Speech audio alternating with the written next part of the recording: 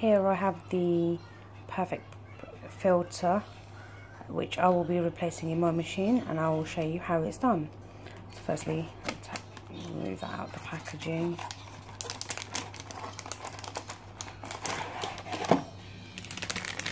So it comes all wrapped inside the box, so it comes all wrapped. Just pop that open.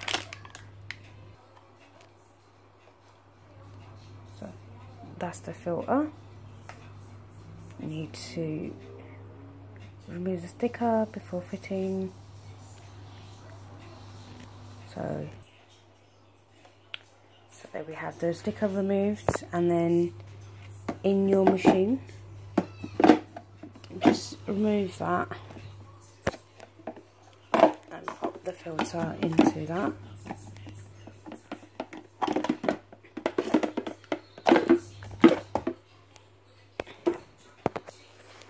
that's the filter in there. And just pull it from the bottom.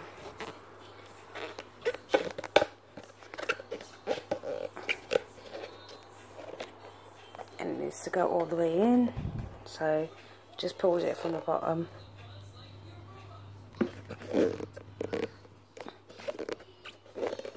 And just pop that back in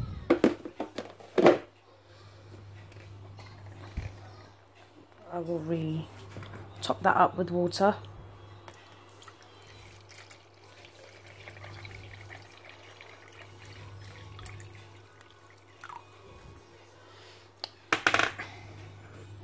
So on your machine you have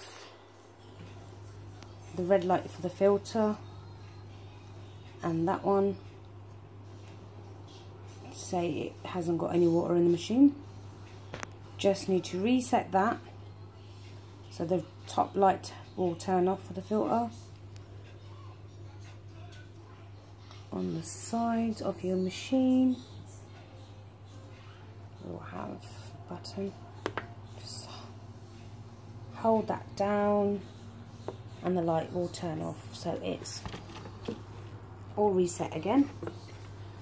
And once the water's topped up the third light here that will turn off. And that's how you change the filter in a pre-prep machine